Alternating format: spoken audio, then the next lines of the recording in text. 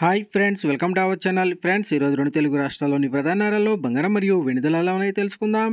అందుకంటే ముందుగా మా నుంచి మీకు ఒక రిక్వెస్ట్ మా వీడియోని ఇంకా లైక్ చేయకపోతే లైక్ చేయండి. మీరు లైక్ నాకు ఎంతో సపోర్టింగ్ అండ్ ఎంకరేజింగ్గా ఉంటుంది.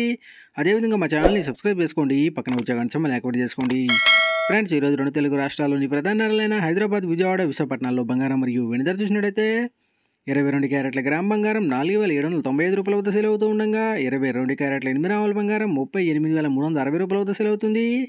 అదేవిధంగా ఇరవై నాలుగు క్యారెట్ల గ్రామ్ బంగారం ఐదు వేల రెండు వందల ముప్పై ఒక్క రూపాయల వద్ద సేల్ అవుతూ ఉండగా ఇరవై నాలుగు క్యారెట్ల ఎనిమిది రావాల బంగారం నలభై ఒక్క వెయ్యి ఎనిమిది వందల నలభై ఎనిమిది రూపాయల వద్ద సేల్ అవుతుంది.